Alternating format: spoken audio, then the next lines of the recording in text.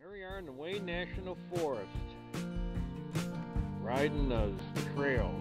We just got done doing the Bull Run Trail, which is really hairy, and we're heading towards hopefully the Dorr Run area.